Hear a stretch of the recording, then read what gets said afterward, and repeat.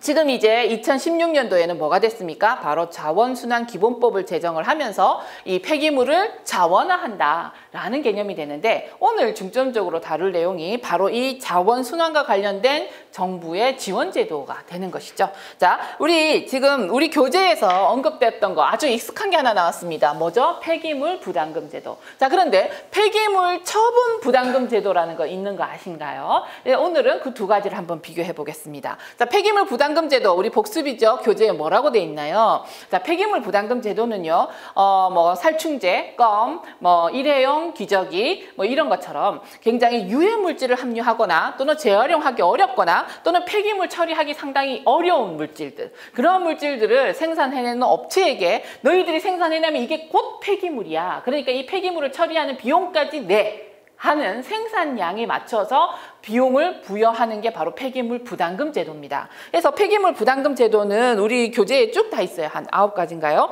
있죠. 그래서 어, 뭐, 그 폐기물 부담금 제도에 있었을 때 그 뭐 부동액이라든가 또는 뭐 담배라든가 또는 플라스틱 포장재라든가 뭐 이러한 것들이 있게 되는데 이 이러한 것들을 폐기물 부담금을 부여를 해서 비용을 걷다 보니까 생산하는데 생산 비용이 올라가요. 생산 비용이 올라가니까 과잉 생산이 줄어들게 되죠. 그래서 폐기물 부담금 제도에 우리가 얻을 수 있는 게 뭐였다? 효과가 바로 자원 낭비를 방지할 수 있다. 앞서 있었죠. 아, 지워버렸네요. 그래서 천연 자원을 낭비하는 것을 방지할 수 있다. 이게 첫 번째로 따라오는 효과였고 두 번째로는 폐기물 적게 생산하니까 폐기물 발생이 억제가 되는 거죠. 과잉 생산률을 줄이다 보니까 과잉으로 생산돼서 폐기물로 나가던 양이 줄어들게 됐어요. 그래서 이 폐기물 발생량이 억제가 됐다라는 것이고 그 다음에 뭐죠? 비용이 들어와요. 폐기물을 처리할 수 있는 비용이 들어오게 되니까 자원 확보. 그래서 자금이 확보되니까 이 자금을 가지고 뭘 합니까?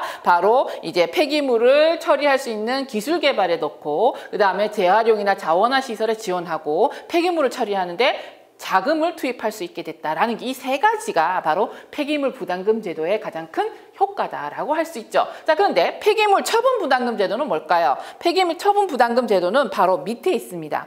자, 폐기물 처분 부담금 제도 같은 경우에는요.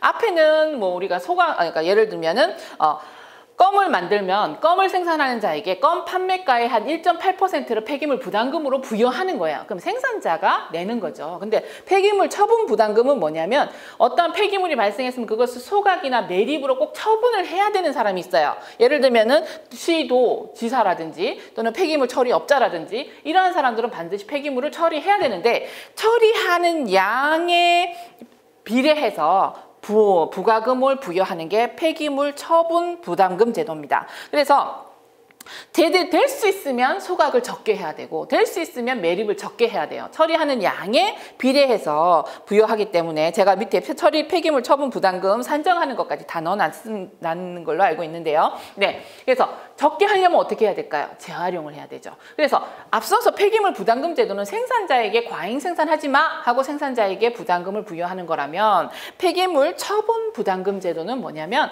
폐기물을 처분하는 사람에게 될 수 있으면 재활용을 해서 소각이나 매립하는 최종 처분량을 줄이기 위해 부여하는 부담금이 바로 폐기물 처분 부담금이에요. 그래서 어 이게 어 부담금을 지금 이제 책임을 져야 하는 사람이 다르는구나라는 걸 알 수 있습니다. 자, 폐기물 처분 부담금 부과 대상 폐기물을 보게 되면 생활 폐기물, 사업장 폐기물, 건설 폐기물. 그래서 우리가 일단 폐기 생활 폐기물은 뭐죠? 사업장 폐기물 외의 폐기물은 몽땅 다 생활 폐기물이에요. 그러면 사업장 폐기물은 그 중에서도 건설법에 의해서 발생하는 폐기물이 바로 건설 폐기물이에요. 그래서 어 그냥 간략하게 적어놨는데 건설 폐기물이라 하면요. 건설산업기본법에서 해당하는 건설공사로 인해서 그, 그 건설 현장에서 발생하는 5톤 이상의 폐기물은 몽땅 다 건설 폐기물.